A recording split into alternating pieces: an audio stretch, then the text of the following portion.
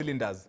Now, uh, yes, my very good friend uh, here. Now, let, let me show you something. Uh, yeah, this guy looks, you, who, who, I mean, guess whose face is?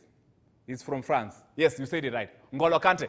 Now, imagine a, a, uh, a France footballer, a French footballer, I think from the lower tiers, yeah, uh, had put on a bet that if France win the World Cup, he will have N'Golo Kante tattoo just above the sitting apparatus.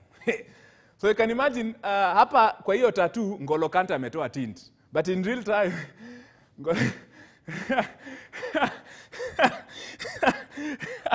so Ngolo Kante is on someone's uh, yeah, uh, sitting apparatus. Now, this is for the ladies.